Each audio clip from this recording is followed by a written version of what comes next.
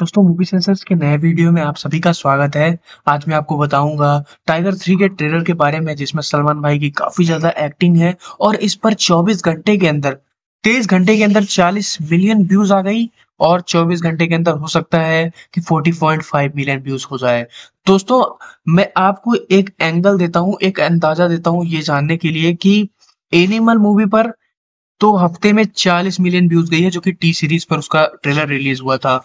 और इसकी एक छोटे मोटे यूट्यूब चैनल पर इसकी ट्रेलर की वीडियो गई है, जिस पर 40 मिलियन व्यूज़ इतनी जल्दी आ चुके हैं।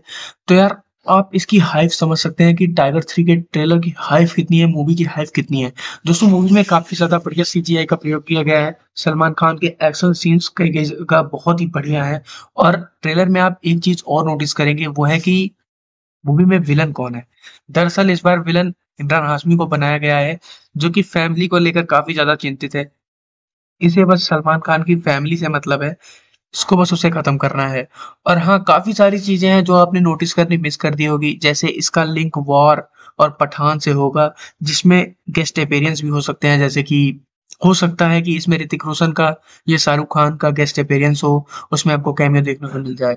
तो यार, अगर आपने ये चीज़ नोटिस नहीं की तो चैनल को सब्सक्राइब कर देना, क्योंकि मैं सिर्फ़ वीडियोस लाता रहता हूँ, जो आपको समझने में काफ़ी ज़्यादा मदद करती है कि मूवीज़ को कैसे देखना है, उसको सीक्वेंस में कैसे समझना है।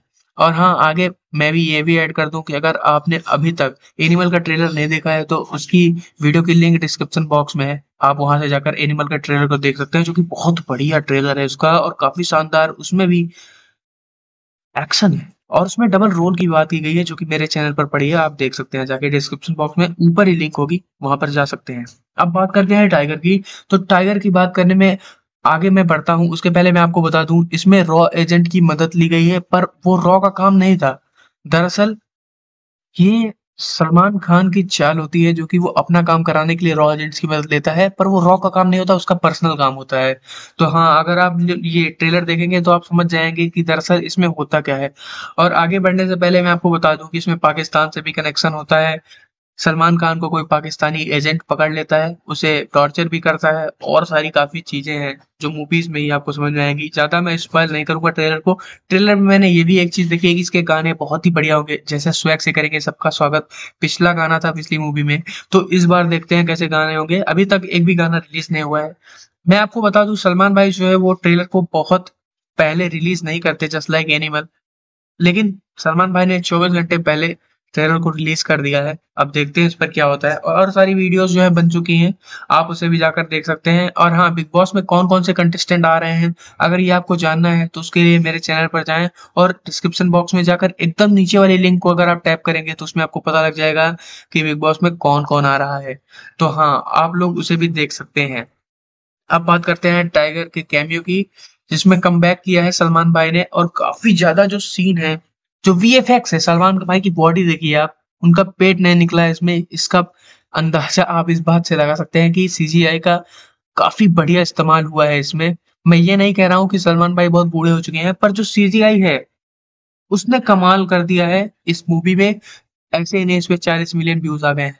और हाँ अगर आप देखें दूसरे एक्टर्स की मूवीज़ को तो उसमें भी आपको समझ में आएगा कि उसके ट्रेलर पर कितनी कम व्यूज़ जाती है, बजाय इसके कि इस पे 40 मिलियन व्यूज़ इतनी जल्दी चली गई है। तो इस बात से आप अंदाज़ा लगा सकते हैं कि टाइगर थ्री का कितना ज़्यादा क्रेज है। और सबसे ज़्यादा क्रेज जिस मूवी का था, उसका नाम आप कमेंट बॉक्स में लिख सकते हैं।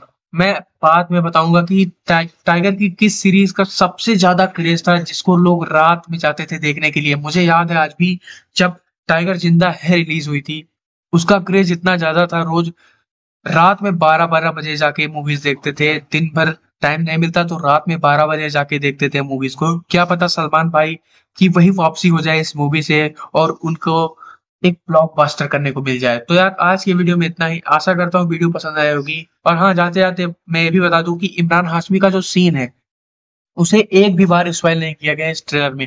उनकी थोड़ी सी आवाज़ भले ही दी गई है, पर उनके बारे में ज़्यादा कुछ बताया नहीं गया है। तो हाँ ये बात ज़रूर बता दी गई है कि इनको फैमिली से कोई मैटर है। उनकी फैमिली को ये डिस्ट्रॉय करना चाहता है।